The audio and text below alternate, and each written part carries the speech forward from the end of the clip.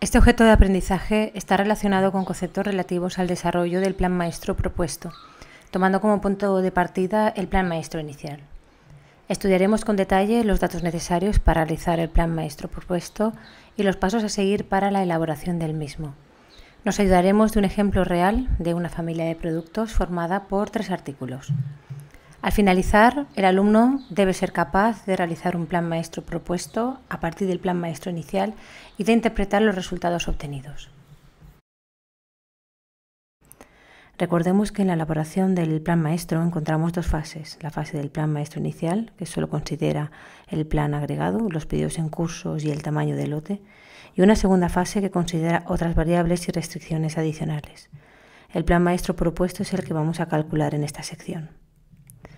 Una vez realizado el plan maestro inicial, debemos ahora ajustarlo a la previsión a medio y corto plazo tenemos que tener en cuenta que estamos realizando el plan de producción de las primeras semanas del año y nuestros comerciales ya están saliendo a ferias, teniendo contactos con clientes y recibiendo los primeros pedidos, por lo que considerar la previsión de ventas a medio y corto plazo nos ayudará a acertar mejor en la elaboración del plan de producción.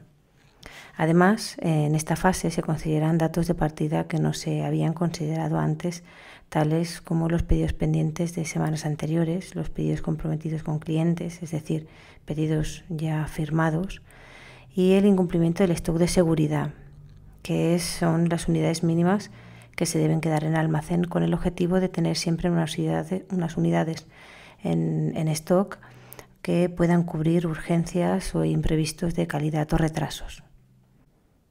El conjunto de datos de partida es el siguiente. Necesitamos conocer, por supuesto, el plan maestro inicial, también la previsión a medio y corto plazo por familia, los pedidos comprometidos, esto es, los pedidos ya realizados en firme de clientes, los pedidos pendientes, que son los que no se han servido la semana anterior y que se deben servir esa semana, pedidos en curso, que son los artículos que todavía no se han terminado pero que estarán terminados para esa semana, el estado de seguridad, el inventario inicial, que en este caso se corresponde con el inventario de la semana anterior a la planificación. Y por último, el tamaño del lote, lote, que indica el lote de producción o compra. En ocasiones los productos no se pueden fabricar o comprar de uno en uno, sino que se deben fabricar en lotes de X unidades.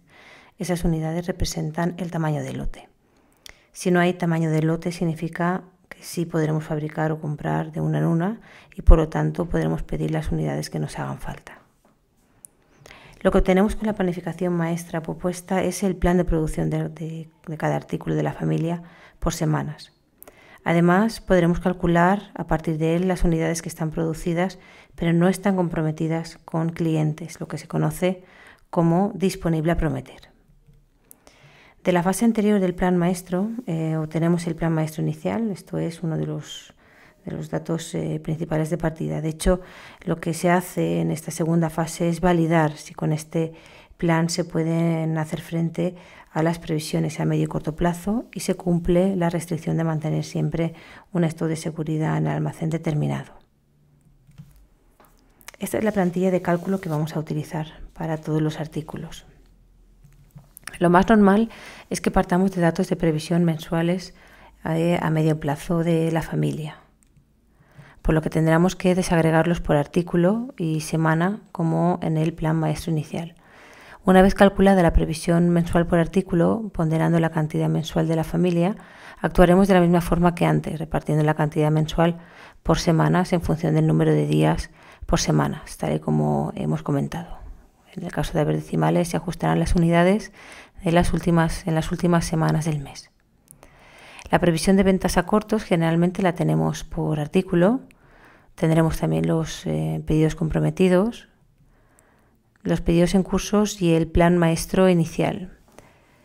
Todos estos datos son datos de, partida. Además, tenemos otras variables que hay que calcular, como la demanda, que se calcula a partir de la previsión y los pedidos comprometidos.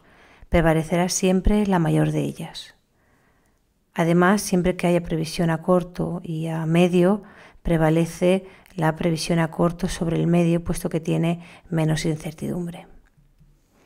También se calcula el inventario final, que son las unidades que quedan al final de cada semana después de haber producido y atendido a la demanda.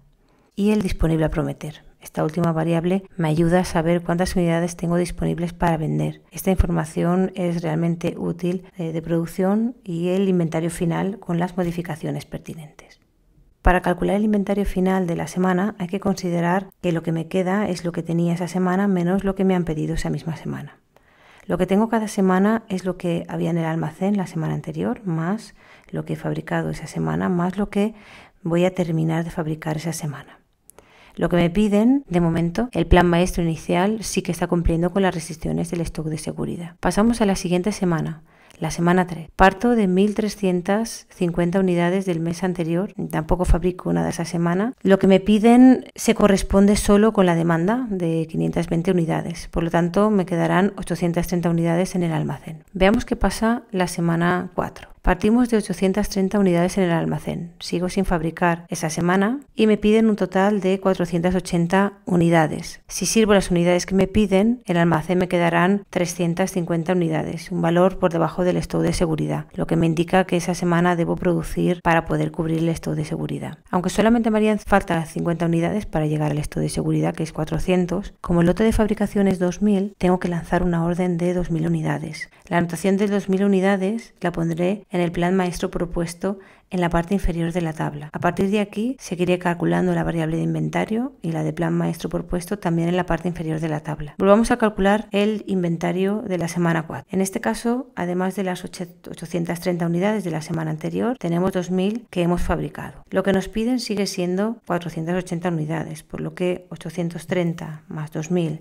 menos 480, me quedan 2.350 unidades, que es lo que quedará en el almacén al finalizar la semana 4. Los datos que preceden a la semana 3 se copiarán directamente también en la parte inferior de la tabla para tener todos los valores válidos de las variables en las mismas filas. Sigamos con la semana 5. El inventario que nos queda al final es de 2.350 menos 450. Total 1.900 unidades. Seguimos del mismo modo hasta la semana 9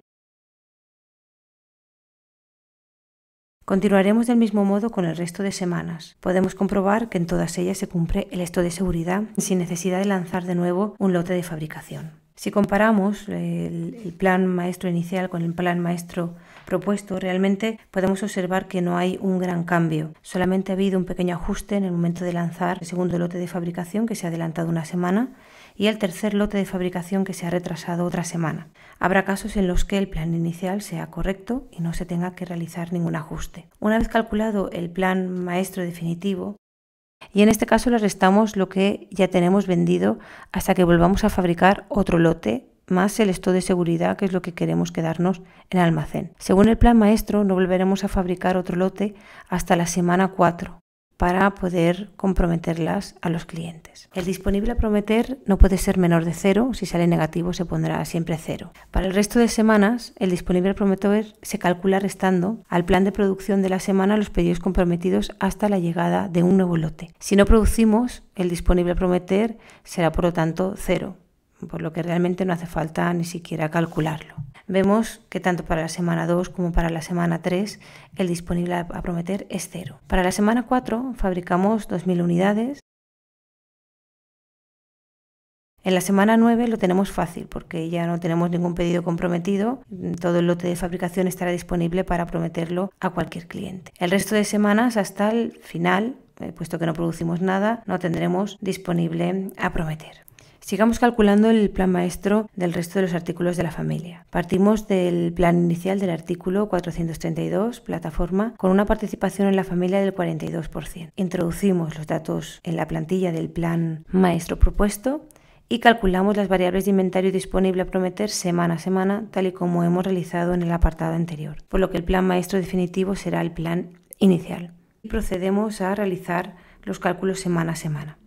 En este caso, de nuevo, se modifica el plan maestro inicial. La primera semana de planificación ya se incumple con la restricción de esto de seguridad. Es más, el plan inicial ni siquiera es capaz de satisfacer la demanda esa semana si no, si no producimos. El resultado final, el plan de producción por semanas de los distintos artículos que conforman la familia de productos. En esta sección, por lo tanto, hemos aprendido a realizar todo el plan maestro propuesto de una familia de artículos, identificando claramente los datos necesarios de partida y los datos que se obtienen al final.